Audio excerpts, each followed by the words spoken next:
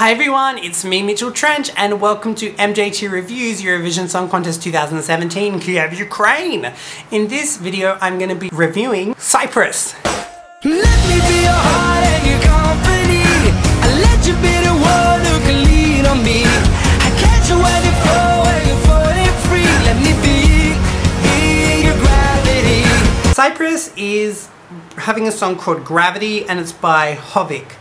First things first, and this is for my Australian viewers, but check out Hovig because he is a Cypriotic Shannon Noll. Maybe a younger version, maybe in 10 years he may have to like start throwing the, the cash at the, the clubs. Anyway, a really good reference to Gravity from Zlata Ognevich uh, which was one of my favorite Ukrainian songs back in 2013. We're in Ukraine and the song is called Gravity. It seems fitting. This is so far my favorite song. So far, because I know it's not going to be my favorite song, but so far, it's kind of my favorite song. I love the tight music in the song. It's really compressed and like, there's even like boom clap, like a beat claps, not boom clap. It's like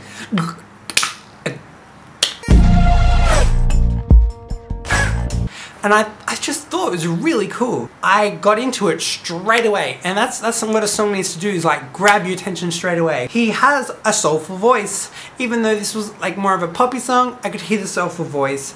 Although he doesn't sound like he has much range, I must say. Either that or that the song needs to have more range for it to be a bit more amazing. He just was in that kind of like strip, you know, that, that middle section.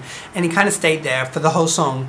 But the melody was hooky and he had a good voice. Definitely a good voice, just hear range. He looks very presentable. He looks like he has really good stage presentation and I think he'll just perform in that big stage really well on the night. There was a point in this song where it was screaming for a key change and you didn't give it the respect that this song deserved. Let me be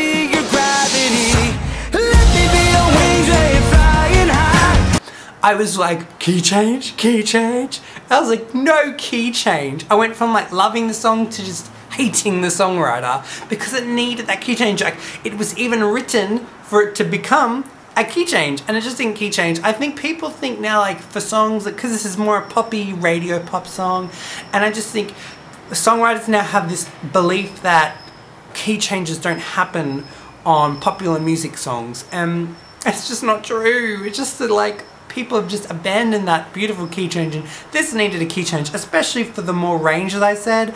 And that also leads me to say that it needed more dynamic and a key change really would have given it that dynamic because the end just felt a little bit more repetitive because there wasn't anything new going on, there wasn't any lift, and the levels hadn't changed so it just felt like oh repetitive repetitive repetitive by the end. I still really like this song but I'm just saying it got repetitive so it was repetitive. I can see that this is a really radio ready song and I think that it'll do well and I think it's a well written song.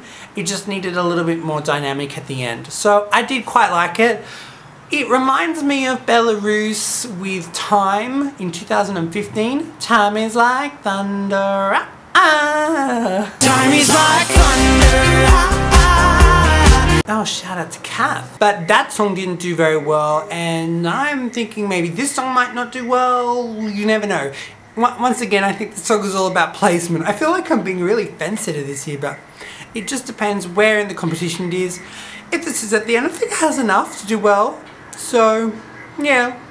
But I really like it, and I, I it caught my attention straight away, unlike any other song so far. Anyway, that's it for now. Please like, comment, and subscribe to see more Eurovision Song Contest reviews. And you can also check out my Facebook page, MJT Reviews, and give that a like. Until then, bonsoir Europe, and goodbye.